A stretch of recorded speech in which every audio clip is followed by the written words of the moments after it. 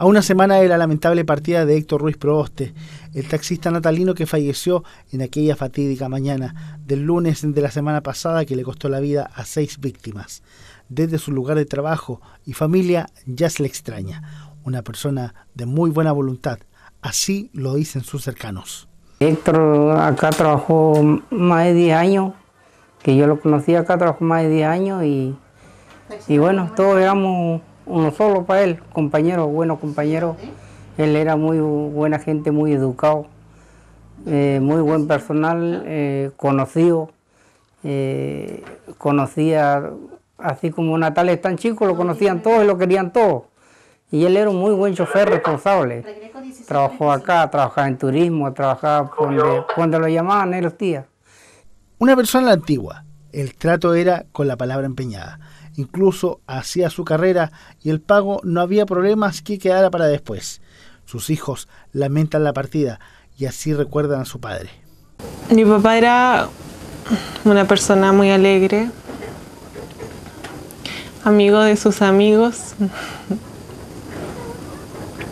quería mucho a su familia, los cuidaba mucho, los mimaba mucho.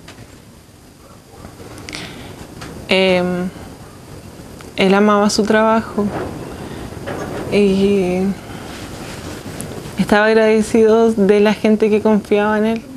Mi, papá, él era mi todo, él era mi confidente, se, era mi era un amigo igual para mí, podía bromear con él, bromeábamos mucho, me molestaba. Me encantaba molestarme a él. Eh,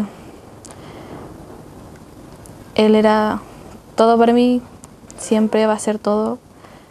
Em, algunas veces salimos en bicicleta a dar una vuelta, de ahí volvíamos.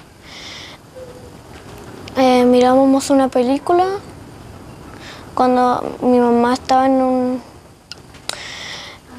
en un en un curso y